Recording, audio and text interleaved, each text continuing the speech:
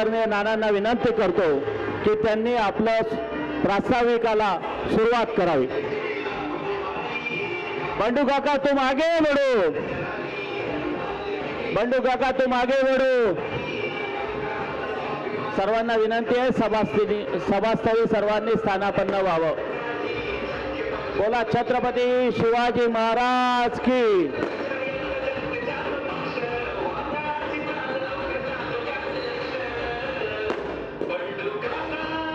काका छत्रपतींना अभिवादन करण्यासाठी जात आहेत. सर्वांना विनंती आहे की सर्वांनी सभेच्या ठिकाणी स्थानापन्न व्हावं. आदरणीय नानांना विनंती आहे की त्यांनी आपलं प्रास्ताविक सुरू करावं. तुमचं भाषणच सुरू काका तिथे पोचले का? फक्त छत्रपतींचे बाकी सुरू करा. सर्वांनी सुरू करून समोर येऊन बसायचं आहे. कृपया या ठिकाणी काकाचं आगमन झालेलं आहे.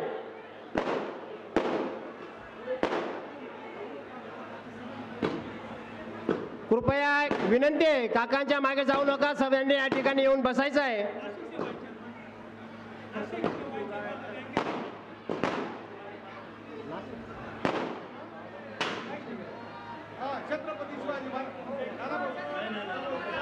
नाशिक मर्चंट कोऑपरेटिव्ह बँकेचे वाईस चेअरमन यांनी कृपया स्टेजवर यायचं आहे.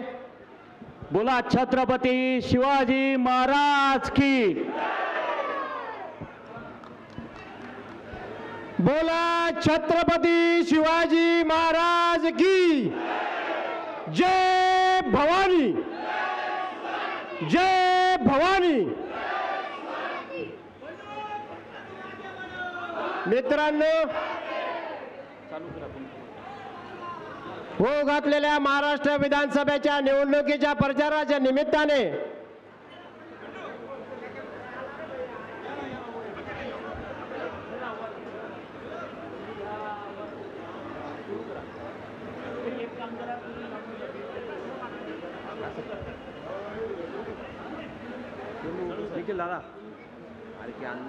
आर के अण्णांना विनंती की त्यांनी व्यासपीठावर यावं. बापूसाहेब बच्छावांना विनंती आहे की त्यांनी व्यासपीठावर यावं. वडेल गावातील सन्मान्यांना विनंती आहे की त्यांनी व्यासपीठावर यावं. आमचे नेते राजू बापू पाटील साहेब यांनी व्यासपीठावर यावं. आदरणीय काकांचं व्यासपीठाकडे उत- आगमन झालेलं आहे. सर्वांना विनंती आहे की त्यांनी लवकरात लवकर व्यासपीठाकडे यावं. सर्वांना विनंती आहे की त्यांनी व्यासपीठाच्या समोर येऊन बसावं.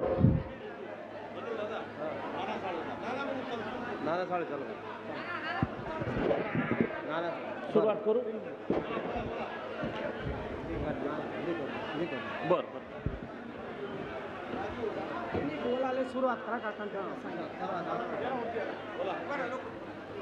महाराष्ट्र विधानसभेच्या निवडणुकीच्या प्रचाराच्या निमित्ताने आपले लाडके उमेदवार आदरणीय प्रमोद बंडू काका बच्छाव व्यास सन्मान्य व्यासपीठ उपस्थित असलेल्या सर्व मतदार बंधू आणि भगिनींनो मित्रांनो ही निवडणूक इतिहासामध्ये सुवर्ण अक्षरात लिहिली जाईल. कारण दोन धनशक्तीच्या विरोधात दोन पैशावाल्यांच्या विरोधात आपले सर्वसामान्य कार्यकर्ता बारा बलुतेदार मित्रमंडळ यांचे संस्थापक अठरा पगड जाती आणि बारा बलुतेदार मित्रमंडळाच्या वतीने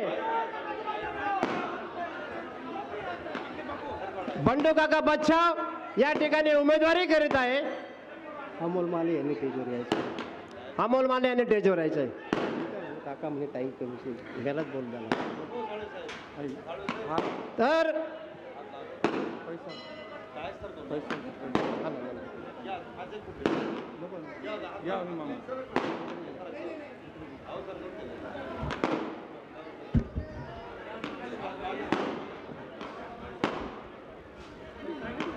गाडी गाडी गाडी. पूर्ण नको बरं का?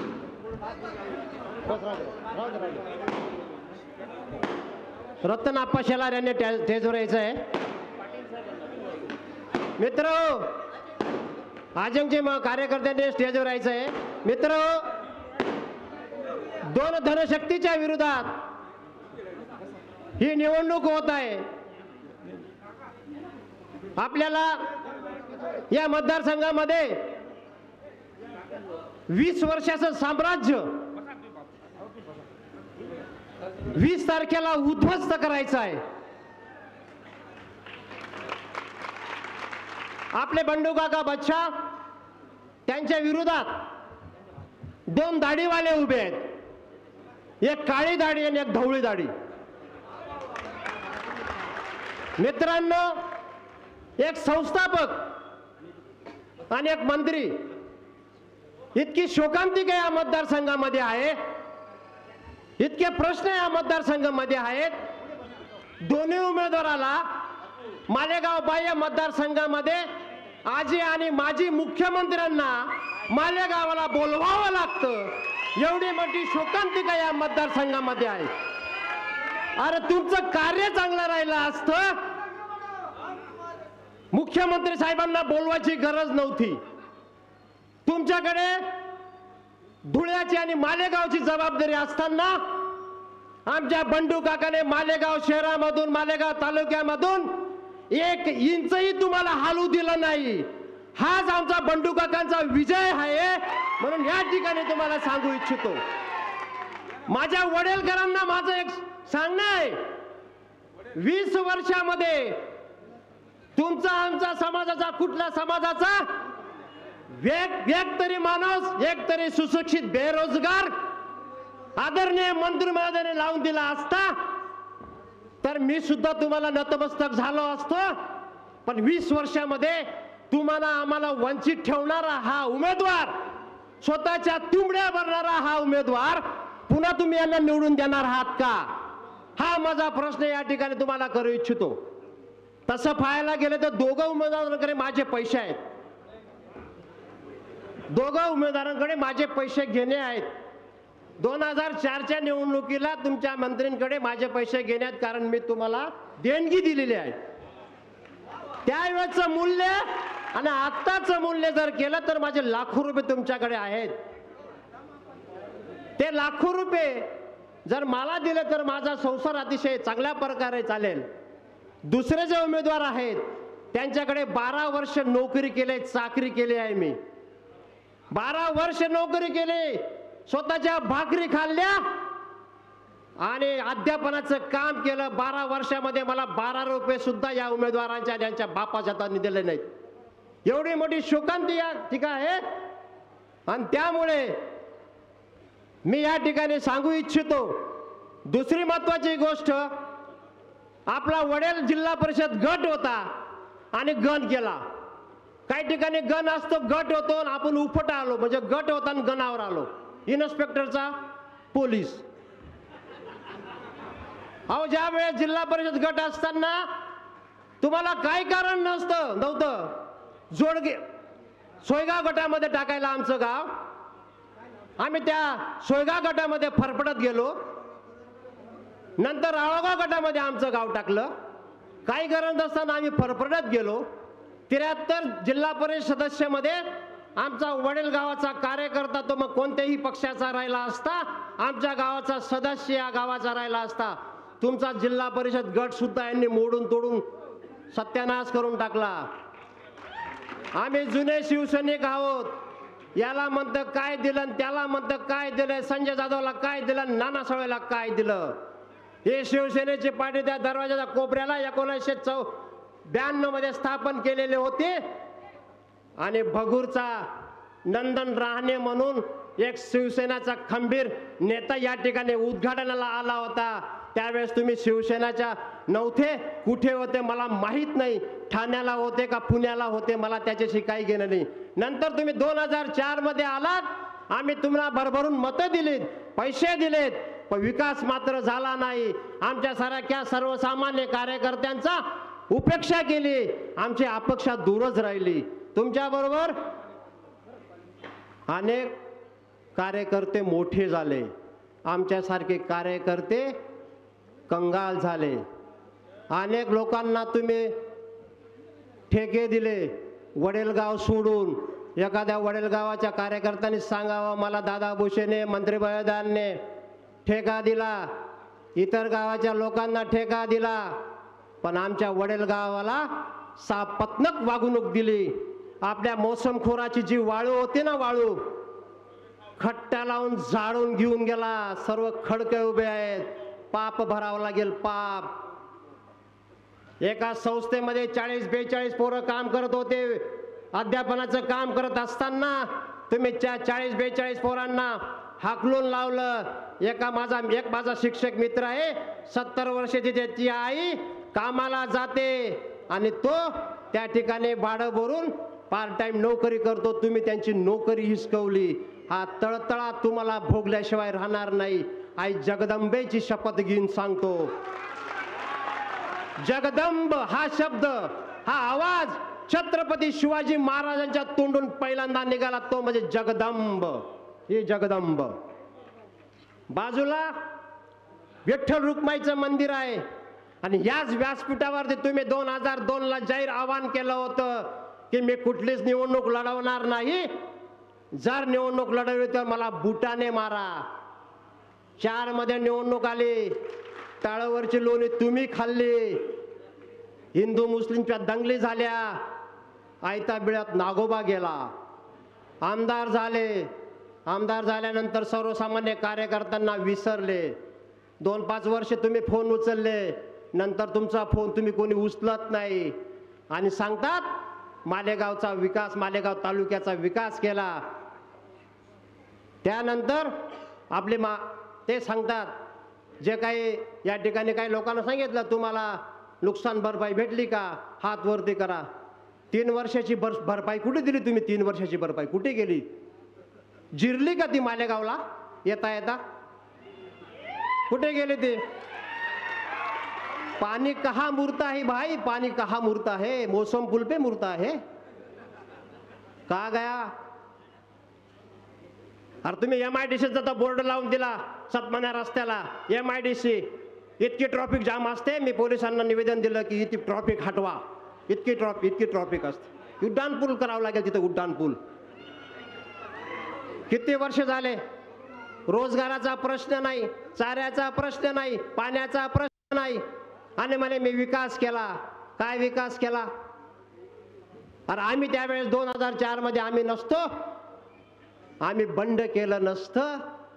तर आज बंडू काका उभा राहिला नसता. आज तोच बंडू काका बंड केलं आणि तुमच्यासमोर उभा राहिला. ज्यांच्या जीवावर तुम्ही चार निवडणुका लढवल्या ज्यांच्या जीवावर तुम्ही मारामाऱ्या केल्या आणि इथे विचारतात तुमच्या दुसऱ्या उमेदवाराने काय केलं? दंग्यामध्ये काय केलं? कोरोनामध्ये काय केलं? अहो तुम्ही दंग्यामध्ये मध्ये सटाणा नाक्याच्या जे आता बाल रुग्णालय झालंय पहिल्या रूममध्ये तुम्ही एका बाजूला होते सूरज गवळ त्या बाजूला होते एसी रूममध्ये तुम्ही झोपत होते. आम्ही आमचे बायका पोरं सोडून आम्ही तीन महिने साखरेला गेलो नंदुरबारला गेलो धुळ्याला गेलो.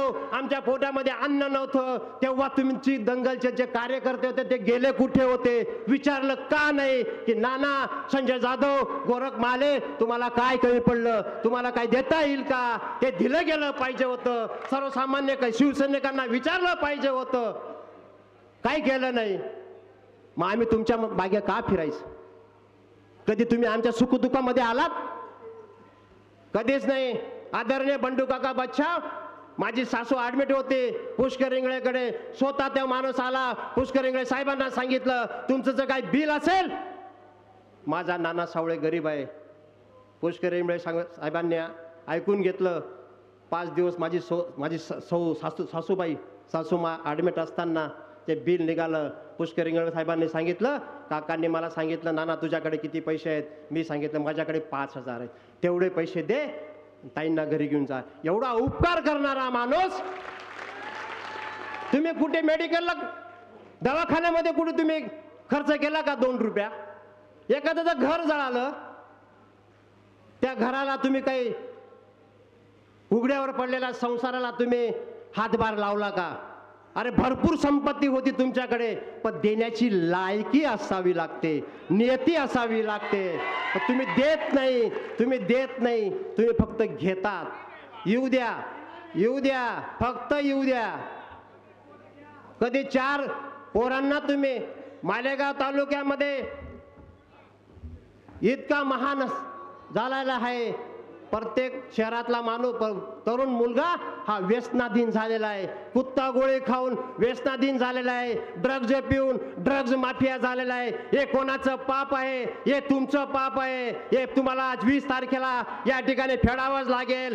तेवीस तारखेला तुम्ही शेवटचे आमदार राहाल आणि पुन्हा एकदा माणूस माझी झाला आजी होत नाही या तालुक्याचा इतिहास आहे. पुन्हा तो निवडून येत नाही. मग तुमचा कार्यकाळ संपला. आराम करा. आमच्या बंडू काकाला संधी द्या. प्रत्येक माणसाचा या ठिकाणी एवढं सांगतो मला आयोजकांची सूचना आली. मी एक तास बोलू शकतो. तो एक भाऊ म्हणे मी साठ मिनटं बोलेल. आणि या ठिकाणी काका तुम्हाला त्यांनी जाहीर करून दिलं. अपक्ष आमदार. बोलला ना अपक्ष आमदार? अपक्ष आमदार म्हणे काका. म्हणून या ठिकाणी मी सांगतो आमच्या गावाच्या वतीने त्यांनी सांगितलं मी या उमेदवाराकडून आहे ते उमेदवार असे. पण मित्रांनो म्हणे तुम्हाला सांगतो आपल्यासमोर एक अपक्ष उमेदवार आमदार आहेत म्हणे. उमेदवार काय आलं नाही आमदार आहे म्हणे आमदार. म्हणजे तुमच्या तोंडून तुमच्या व्यासपीठावर सांगितलं गेलं आमदार झाला म्हणजे झाला. बंधूंनो काका बोलू का थोडा वेळ?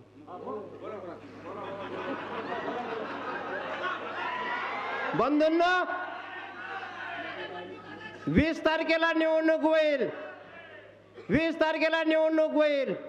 तेवीस तारखेला जेव्हा निकाल येईल ना दोन हजार चारला सन्मान हॉटेल समोर. बंडू काका तुम्ही विद्यमान आमदार बाजूला सुरेश निकम गाडीच्या बोनटवर उभे राहिले होते. तुम्ही मध्ये होते उजव्या बाजूला बंडू काका होते डाव्या बाजूला सुरेश नाना होते. आठवतं? आता त्याच ठिकाणी त्याच जागेवर तर गाडी मात्र चेंज राहील. बंडू काका मध्ये सुनील बाबा सुनील गायकवाड बाजूला कमलाकर पवार बाजूला निखिल पवार त्यांच्या बाजूला. दोन हजार चार आणि वीस वर्षानंतर दोन हजार चोवीस. लक्षात ठेवा लिहून ठेवा. पैसा पडलेला आहे आणि शंभर टक्के म्हणजे शंभर टक्के महाराष्ट्र विधानसभेच्या दोनशे अठ्ठ्याऐंशी आमदारांमध्ये आपला बंडू काका उजळून निघाला पाहिजे. बारबार शब- भाषण करणारा असा आपला आमदार निर्भड असं व्यक्तिमत्व जॉईंट क्लिअर ठरला पाहिजे. जिल्ह्याचा एक विद्यमान आमदार मंत्र्यांना पराभव करून आलेला आहे. आत्ताच काल परवाची या ठिकाणी मी व्हिडिओ पाहत होतो. या सरकारमध्ये शिवसेनेचे सात मंत्री पडणार आहेत आणि दोन नंबर तुमचं नाव आहे. लक्षात ठेवा काम वेळाचं मी बंधन ठेवतो. बोलण्यासारखं खूप काय आहे. आम्ही तुमच्याकडून तुमच्यापासून दूर का गेलो? याचा तुम्ही अभ्यास करा. आम्ही ज्यावेळेस बंड करतो ना त्यावेळेस इतिहास बदलतो. या गावाचा इतिहास मी सुद्धा बदललेला आहे. आता आमच्या गावाच्या वतीने बंडू काकांना पंच्याहत्तर हजार दोनशे दोनशे रुपये. बारा बलुतेदार मित्र मंडळाच्या वतीने म्हणजे सर्व समाजाच्या लोकांचे पैसे आहेत काका. पंच्याहत्तर हजार दोनशे रुपये. आमच्या गावाच्या वतीने हे थैले आम्ही काकांना देतोय. रंगाबापूवर या. कुंजाराम. हा ना हा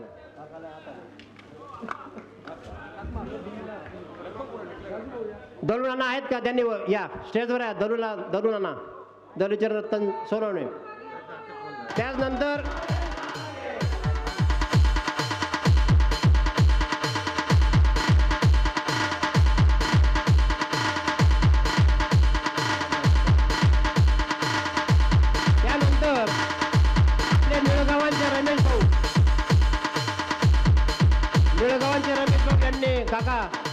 त्यांच्या परिस्थितीनुसार एकवीसशे रुपये दिलेले आहेत.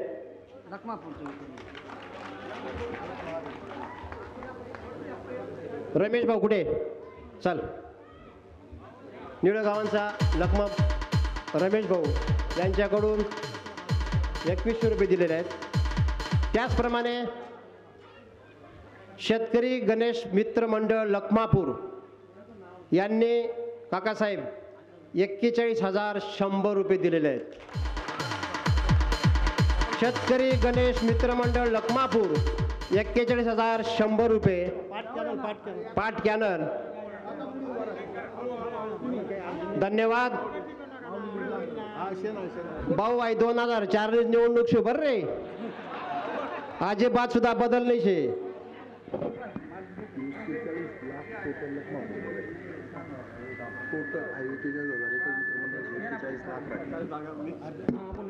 मी आता असं ऐकलं एक्केचाळीस लाख रुपये लखमापूर करून राहणार आहेत म्हणे. बघा. काय निवडणूक सोपी नाही भाऊ? कोण कोण उपडीन कोण कोण राहील? आणि